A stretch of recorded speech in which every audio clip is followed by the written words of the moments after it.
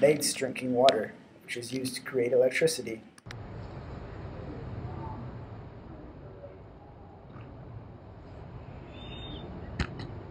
Hydro means water.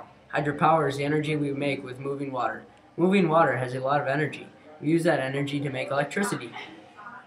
Hydropower comes from flowing water, and the water is replaced into the ecosystem. In the simplest form, hydroelectric power comes from a water wheel. One of the great engineering achievements of ancient times was the development of the water wheel.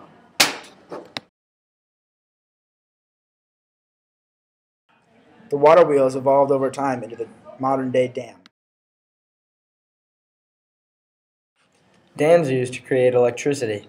The water goes into the dam, spins the turbine, and uh, takes the electricity from the turbine into the transformer and provides electricity for power lines.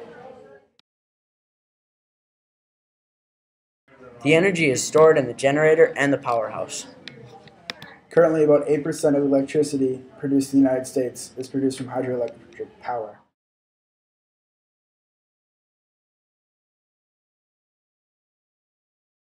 Not take a video of me, please.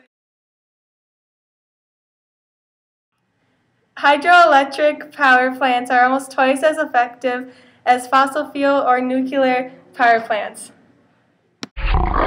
Also, after the initial cost of building a dam and a power plant, the electricity is relatively cheap.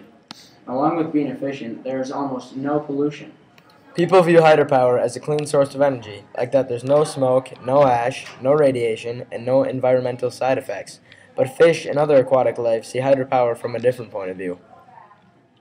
Although there are no real byproducts of hydroelectric power, it interrupts the migration of fish and flow of rivers. The only thing that's preventing hydropower from being spread across the United States is its dependence on water and rainfall. In summary, hydropower is twice as efficient as other energies and has no byproducts, but imposes a threat on aquatic life. Almost no pollution. There's almost no pollution.